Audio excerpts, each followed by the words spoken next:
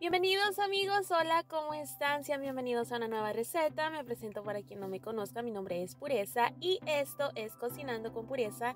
Muchísimas gracias por estarme acompañando en una nueva receta donde hoy yo les voy a estar compartiendo cómo es que preparo estos taquitos al vapor con un relleno de papa con chorizo que quedan deliciosos.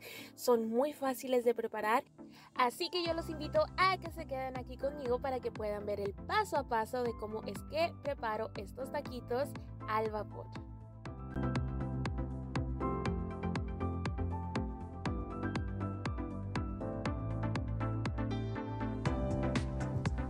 Y pues bueno amigos, les estuve mencionando que van a ser unos taquitos eh, con un relleno de papa y chorizo. Así que aquí están las papas que voy a estar utilizando. Simplemente las estuve lavando muy bien.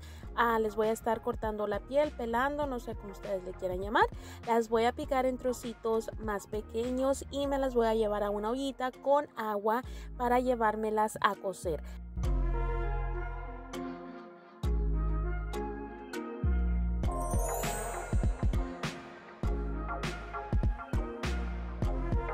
Voy a estar dejando esto aquí hasta que se cuezan muy bien. Voy a decir unos 45 a casi una hora, amigos. Tienen que estar bien blanditas. Y pues bueno, ya están cocidas. Ya saben, los teléfonos, los videos hacen magia. Así que aquí están ya cocidas. Las voy a estar reservando. Mientras tanto, yo les muestro que voy a estar utilizando un poquito de chorizo simplemente para darle poquito sabor.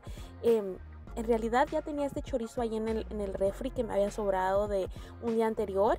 Así que dije, bueno, vamos a echárselo aquí a las papas para darle más sabor. Eh, pero bueno, aquí se puede usar chorizo, longaniza o eh, amigos, los taquitos al vapor en sí, pues bueno, ya cualquier relleno de su preferencia va a ir muy bien. Pero bueno, vamos a cocinar muy bien el chorizo.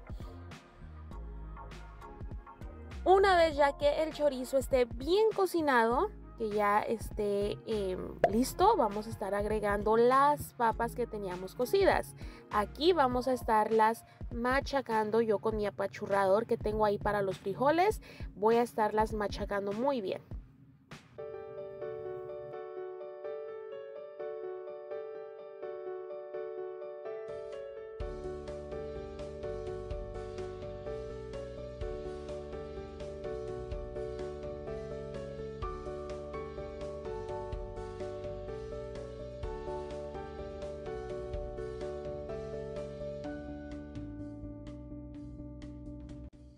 Vamos a estarles agregando una poquita de sal al gusto y tratamos de incorporarla muy bien para que la papa agarre ese sabor rico de la sal. Y pues bueno amigos, vamos a estar dejando eh, esto aquí, lo vamos a reservar, ya está listo. Mientras tanto les voy a estar mostrando em, el siguiente paso. A mí me gusta agregarle un tipo de adobo a la tortilla para que tenga mucho más sabor. Para eso vamos a estar necesitando una taza de aceite. El aceite tiene que estar bien caliente y aquí estoy agregando la mitad de una cebolla que estuve partiendo en rodajitas y tres dientes de ajo.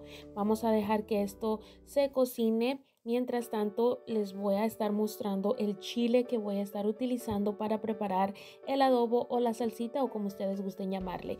Tengo como unos 12 chiles guajillos, ya están desvenados, es decir, no tienen semillas.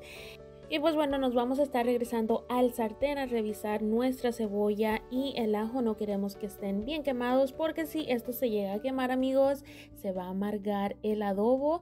Esto ya está perfecto, así que lo vamos a estar retirando del fuego. Y pues bueno, miren aquí en el vaso de la licuadora ya tengo los chiles. Y aquí vamos a estarle agregando lo que teníamos ahí en el sartén, el aceite con eh, la cebolla y los dientes de ajo. Vamos también a estar agregando tres pimientas negras y voy a estar dejando que esto se enfríe un poco para poderlo licuar. Una vez ya que esté frío, eh, ahora sí lo voy a estar licuando. Y pues bueno, después de unos minutitos ya lo estuve licuando y me voy a estar llevando esta salsita, el adobo por un colador. Simplemente quiero eh, toda la salsita que ustedes están viendo en el plato de abajo. No quiero los pellejos de chile, eso no lo estamos necesitando. Simplemente voy a encargarme de escurrir muy bien esto para que caiga eh, toda esa salsita rica que vamos a estar necesitando.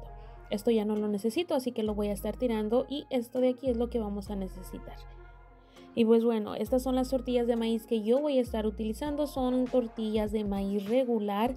Ellas son las que están empaquetadas. Y para ayudarme a doblar el taco con más facilidad, para que no se me vayan a quebrar, a romper, me las voy a estar llevando a calentar un poquito en el comal. Como les digo, eso me va a estar ayudando a poder doblar con más facilidad el taco.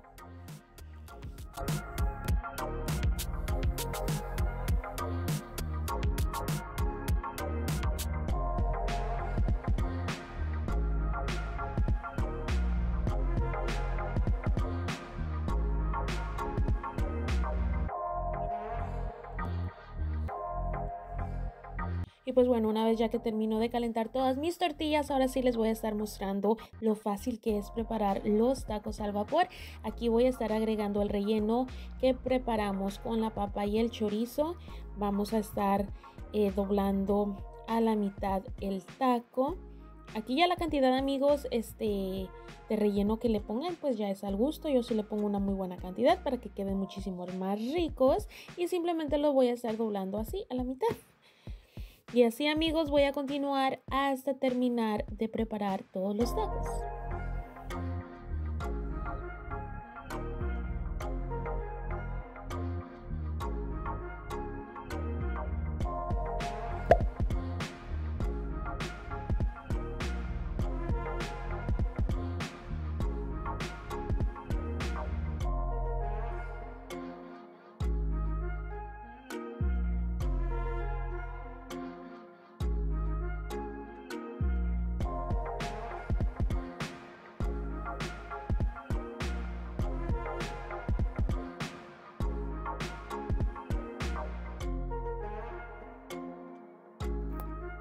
Una vez ya que terminamos de prepararlos, eh, les muestro que voy a estar utilizando esta ollita, me voy a estar ayudando con esta base, como son tacos al vapor necesitamos una base, tengo poquita agua ahí abajo Em, y ahora sí coloco muy bien mi base y aquí es donde vamos a estar colocando los tacos. Para yo ayudarme a que la agua no llegue directamente a los tacos voy a estar poniendo una basecita de tortillas. Eso me va a estar ayudando. Voy a agregar eh, una poquita de la salsita del adobo que teníamos ahí para que el taco que ahorita vaya a poner en esta parte pues en chile también por la parte de abajo. O aquí amigos tenemos ya dos opciones. Podemos eh, simplemente pasar el taco completo em, por el adobo, por la salsa o ponemos los tacos y ya encima podemos agregar unos chorritos del adobo. Eso ya es al gusto de cada persona. Pero bueno, voy a estar haciendo esto hasta terminar de acomodar muy bien los tacos.